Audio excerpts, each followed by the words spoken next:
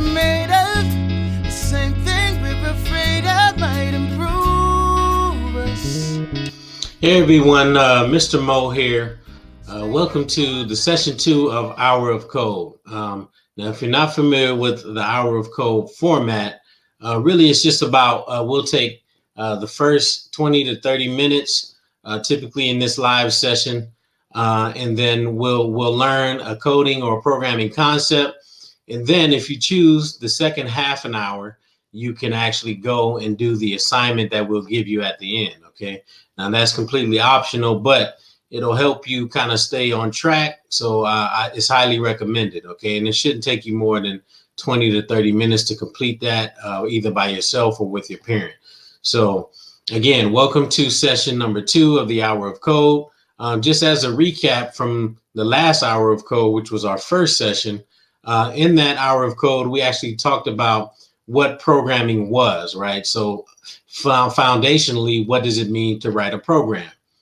Uh, and so we were talking about how, just again, as a review, that programming is simply giving something or someone instructions, right? So just like uh, if someone gave you a set of instructions on a piece of paper, it's written in a language, uh, which there are many different types of programming languages. Um, but found fundamentally, programming, if you understand certain concepts, moving from language to language is not as hard once you understand uh, how to speak to a computer or to a robot, right? Um, now on Club Oasis, we do like to uh, do hands-on, a lot of hands-on activities. And so especially for young learners, we really encourage you to have some sort of a physical device that you can program that's able to either move around or control a robot. Um, but you can also do some programming in a browser that controls some lights and things like that. So you can get a good idea of uh, how those instructions translate to actual actions, right? For on a for a computer or a robot. So next, we're going to get into um, this little presentation that I put together. And I want these to be as interactive as possible. So if you see on the right hand side there, you have a chat window that you can type into at any time. And, and occasionally there'll be opportunities for me to bring people up on stage, if you will, virtually. Uh, we have that ability to either, uh, now you don't have to turn your camera on if you're shy, but if you want to lend your voice to maybe answering some of the questions that I have, that'll help out and that'll kind of help it to be a little bit more interactive. Okay. So let's go into uh, my PowerPoint presentation here um, about um, today's topic, which is called If This, Then That. Okay. Now, we word it like that because it pretty much explains the type of mindset or the sequence that you need to think about, right? Which is very popular in programming, especially if we're talking about robotics and if we want to make a robot more autonomous, meaning that it can move and do things by itself. So we want to understand this concept that we call if this, then that. And we'll talk about what exactly that means. So let me share my screen here.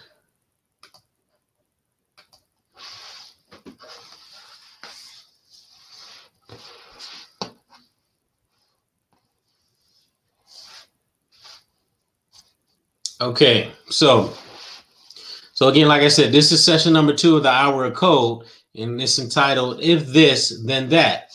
Okay, so what does that mean? That basically means if this happens, and this can be many things, then I want this, then I want that to happen. Okay, if this happens, then that, and we'll talk about that on the next slide. Exactly, some examples of how if this, then that is uh, works. Okay, so um, a good deal of programming, especially again for young learners and robotics, if we're talking about robotics and things that young learners can program, involves taking inputs and then producing a certain output. Okay, so that means that if something happens on the left, so if you look at the um, the inputs over here, all of these on the left hand side are what I call inputs. Okay, these are things that happen. They're inputs. Okay, then they they go into these things here in the center column, and we'll talk about these in a second, right? And then they output something over here in the right hand column. Okay, so these are the inputs. Here, something happens, right? And we'll talk about that in a second. And then we have outputs here on the right. Okay, so as you can see in the background here, um, I have really, which is like an illustration of a brain, okay? And this is kind of where exactly uh, all of the programming uh, happens, right? Or all the processes that a program uh, controls, right? So just like in a human brain, right? So let's let's take a look at some of the human things here, okay? Some of the human inputs. So let's say I put my hot finger onto a stove, and that comes into us as humans. Then there's a certain output here, okay? So so for instance, so and I want you guys, and the reason these squares are blank, excuse me, is because I want you guys to give me an answer, okay, or what you think that output would be. So if I put my hot finger on the stove, what will be the output of that? After it goes into my brain and I process it, what do you think? What's the action that I put out? If I put my finger on a hot stove, what's the action? And you can write it in on the right there. Ouch. Good, good, right? That's one, right? Let me uh see if I can uh, uh so we said ouch. Okay, what else? What else could happen? Scream or cry? That's right. But probably what's the thing that you, um, along with screaming and crying that you would probably do? So that your hand's not hot anymore. What would you do? Well, what does your brain tell your body to do?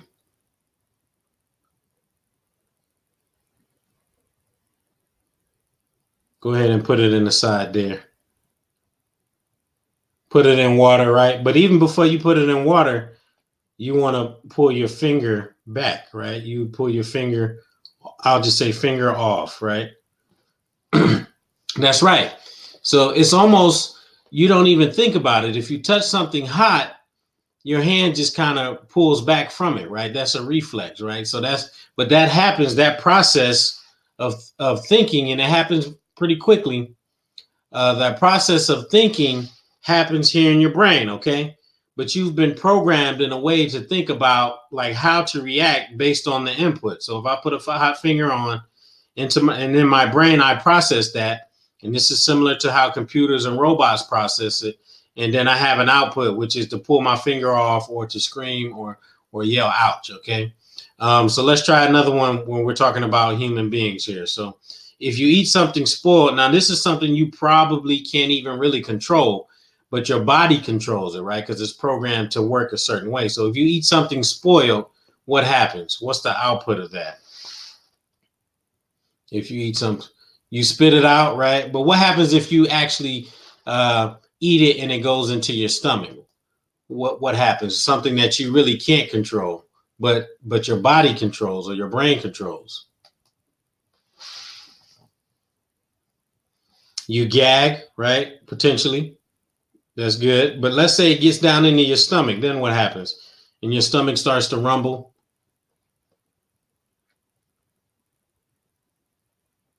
You throw up. That's right. You vomit right? And this is and I'm and I'm talking about this one because you don't you don't you can't really think of it like that, right? You don't say, "Hey, stomach," uh, or "Hey, body, throw up," right? Typically, if we if we want to throw up, or because we've eaten something that's spoiled, then that kind of happens automatically, right? But it's been programmed into your body to do that. Okay, so that's a, another example of how um, programming works in the human body, right? So the human. Okay. So now some of you on here, I'm not sure if you're familiar with Instagram. Let's go to Instagram and look at some inputs and figure out some of the outputs from that, right? So let's say we double tap on a picture on Instagram. What happens? What's the output of that? If we double tap on Instagram, what's the output? You like it. That's right. That's right. That's right. So it, it, I guess you you say you like it, but you get the little heart, right? So it's a like, okay? So just by double tapping.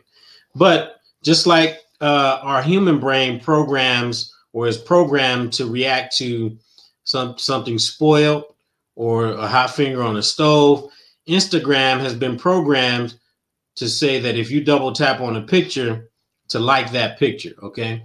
So that's that if this happens, if I double tap on a picture in Instagram, then I get a like, okay? So that's what happens. Okay. If this on the left if this, then that. Okay, you see how that's kind of related to that? But in between if this and that, there's the programming piece, right? Which happens here on Instagram through the app, or if you're a human, that happens in your brain or your body, okay? And so if we could let's check out the comment added right here. So we add a comment on Instagram, what happens here in the output?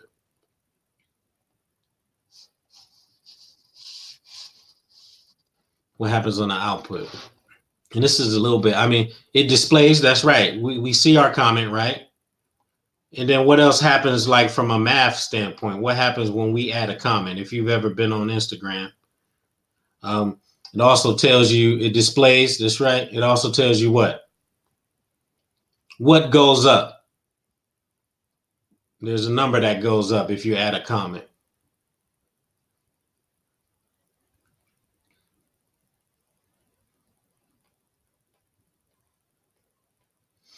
Okay, yeah, your count.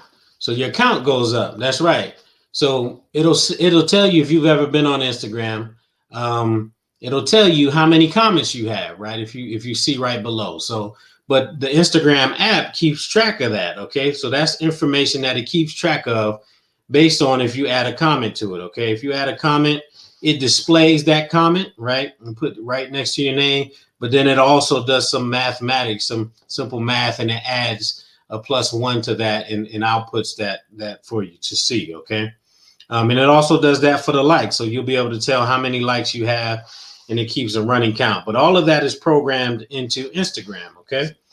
And so let's go down here on the bottom and look at a couple more. These are a little bit more uh, complex. Okay. So if we're talking about now a self-driving car, again, this is this is something that has to be programmed as well, a self-driving car but there are also inputs on a self-driving car. If you've ever seen a self-driving car, they have a lot of cameras on them, right? Cameras and what they call lidar, which is a like a light radar. Okay, but it is able to scan its surroundings uh, using computer vision and this lidar. Okay, so what happens if I'm driving in a down the street in a self-driving car, and at the intersection another car runs the red light while I'm coming down? What do you think our car is programmed to do? Based on this input of, of seeing another car run the red light opposite of us? What, what do you think our self-driving car is programmed to do? And I'm actually, for this one, I'm actually going to bring up, uh, I'm going to bring up somebody. So Zora, are you ready to answer this question? Let's see. I'll see if we can get uh, Zora to come up here and answer.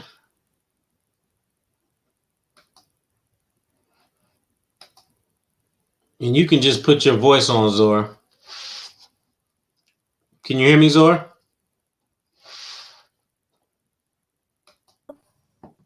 Can you hear me, Zor? Yes. okay. So welcome on. So what so if a car runs a red light, then what happens with the self-driving car? If if so if I'm in the self-driving car and I'm going down the street and another car runs a red light, what does my car do? It stops. It stops. That's right. Okay, good job. And thanks for coming on. um, that's right. It stops. Um, let's see here. I can. Uh,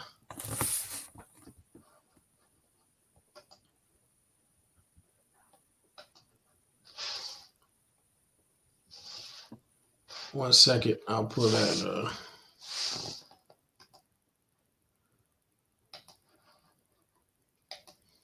Let me bring it back up here real quick.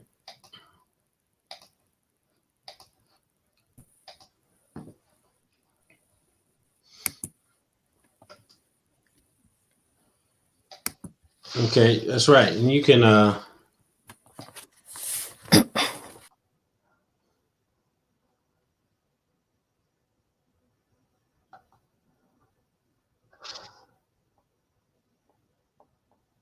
So it stops. Okay, good, good. And the same thing here, and we won't go through this, but as the speed limit increases, actually self-driving car can see those signs on the side there, okay? And so as let's say you're driving and, and its current speed limit is 25 and it jumps up to 35, then your car here will actually speed up, okay? And it'll do this automatically based on this programming, okay, or whatever its brain and programming tells it to do, okay? And and you can see a couple more examples here with the uh, with computers, how they do things. If you if you do some math, if you input an equation or if you upload a file, they have a specific output that they do, okay? So, but the main thing I wanted you to understand is this idea of having inputs and then some processing happening here in the brain, processing or thinking. That's the same thing. So computers and robots actually think, but they think based on how we program them to think, okay, or what instructions we give them to think or how to behave and act based on these inputs that we have over here. And then based off of that, our program typically tells them to produce some sort of an output on this side. Okay. So these concepts here, inputs and outputs, and you'll see a lot of times uh, companies will say I/O. Uh, like Google has a conference, I think they call Google I/O. So because this is a fundamental concept in computing, okay, inputs and outputs. Um, and so, and because the programs that we write are actually really manipulating inputs and outputs, data and information, all of that. Okay. So, um, very fundamental concept, but very easy to understand. Now, we want to make sure before we actually dive into any real programming that we understand the fundamental concepts. Okay. Concepts that if you understand um, their foundations, it will make now, once you actually get into programming and coding, it'll make everything a lot easier because you're thinking about it from the perspective of inputs, outputs, and brains processing. Okay, language, all of that comes into play. All right.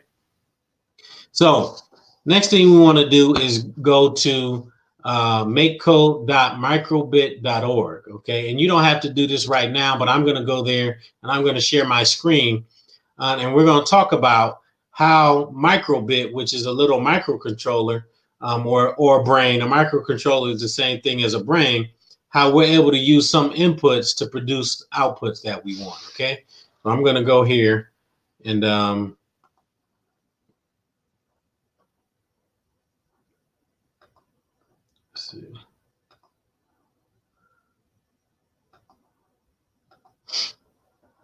All right. So you should be able to see that. Okay. Uh, is that is everybody able to see the microbit uh, website? Okay, cool. Let me go back to it. All right. So um, here we, and I like the microbit website because you can do this right in your web browser if you're on a laptop or a desktop. And I think it's, it's pretty mobile friendly as well. I wouldn't recommend it, but if you had to, you could uh, actually create a project here. But everything is done here uh, in the web browser or online. So this is why I like it. Okay. So we're going to, first thing we're going to do, and you don't have to create an account um, and actually, if you if you visit it from the same browser, um, it'll store some of the programs that you've done or messed around with. Okay, uh, there's some tutorials here, and one of which we'll do as an assignment. But there are other things you can do with the microbit. Now, I recommend the microbit, which is again this little brain or computer here, because it's very simple. It's really designed for young learners. Okay, um, and it only costs about uh, twenty dollars, so you can get it.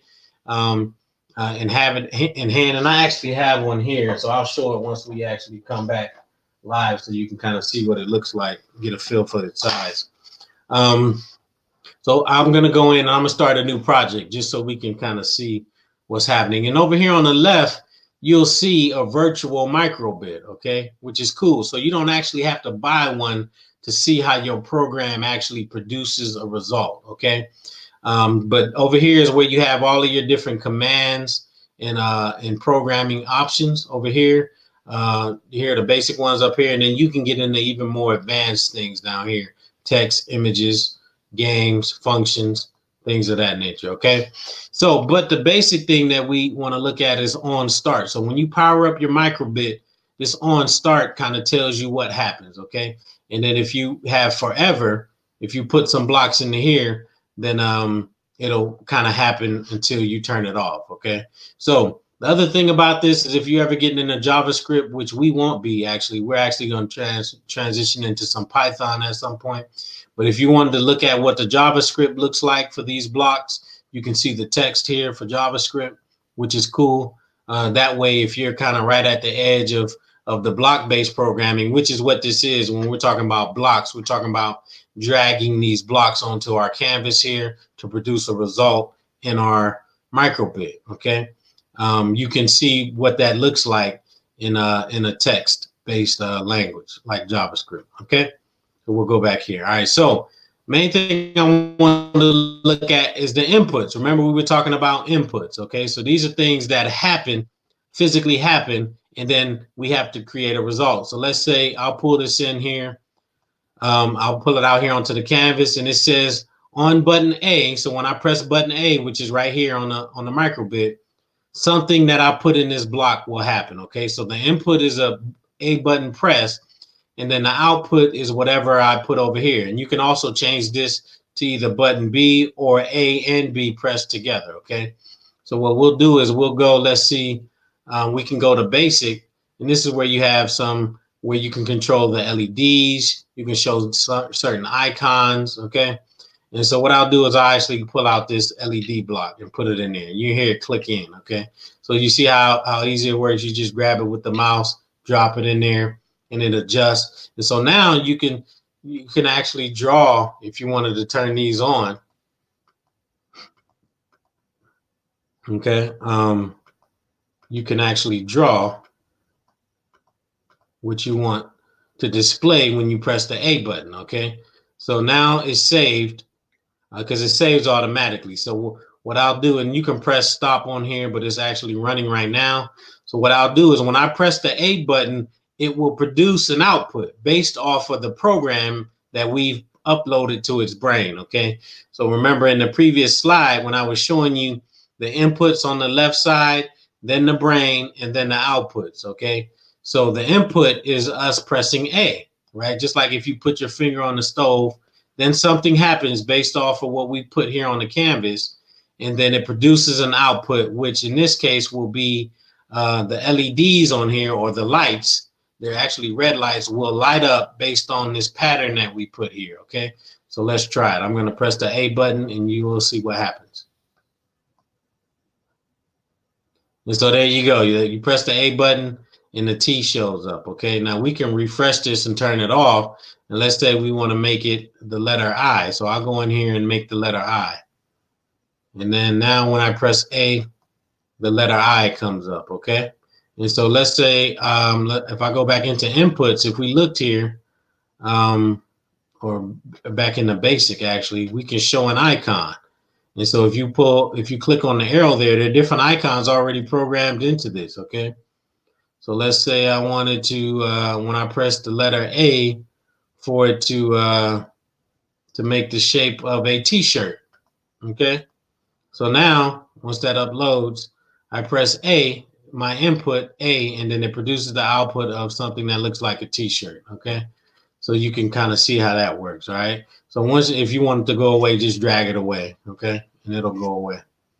So, um, but there are other inputs you can work with too, and this is just for information, like on shake, because if you shake the microbit, um, it can produce an output as well, okay? Now you may be saying like, how do I uh, run a, a program where I shake the microbit. So if you see when I pulled the shake out, it actually pulls up here and I can click that and it'll it'll uh, essentially do whatever we want it to do based on that shake. So let's let's try this again. So so I'll put the heart icon and if I click shake or if I shake it, you see it produces the heart, okay? We got that. Let's let's reset it so we can see that again. Now just put my mouse over it, which simulates me shaking it, and then the heart comes up, okay, based on our program, all right? Now, if you were to shake this in real life and we had this program uploaded, that's what would happen, okay? So, um, so that's just a basic uh, overview of the microbit.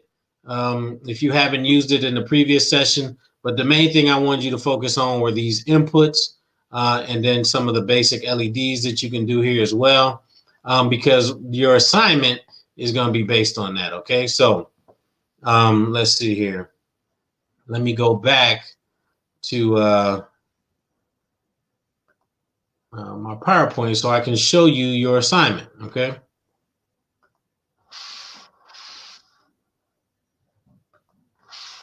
and then we're gonna wrap up here. Okay, so we visited make makecode.microbit.org. Now we're gonna dive deeper. Okay, and all of this, remember, all this information, the slide, the pitch, uh, presentation will be available on our website uh, under the class called Hour of Code. Uh, I'll probably upload it later tonight, but it'll be available um, for you to see. But what I want you to do as your assignment, and you can do that either after this immediately or you can wait until I upload it. I want you to go to makecode.microbit.org and um, and you don't have to create an account. And and I want you to do the tutorial that's uh, entitled Smiley Buttons. Okay, so this is the, where we're kind of going to work with the input. So we're gonna we're gonna have some inputs with uh, buttons A and B that produces some output. Okay, now it's in the tutorial section and it's called Smiley Buttons. Okay, and it shouldn't take you but about uh, 10 minutes to do that and tinker around with it. And then finally, if you want to, after you've done the tutorial, you can make your own custom um, program that produces different outputs, an LED display when you press A, when you press B, and then have it display something when you shake the microbit. So have it display uh, three different things based on the input, um, and then just kind of see how that works. Okay. So again, a very, very low uh, very simple programming assignment, but it'll set you up for what we're going to do in the next session. Um, so we'll, we'll, talk about what's next. All right. So um, I've been looking at several different tools that will be able to serve not only the young learners, but some of the older learners. Okay. And I think I found it. I'm not going to say what it is, but what uh, it will allow us to use what they call Scratch, which is a is really for early uh, programmers and then also uh, some block-based programming in the middle.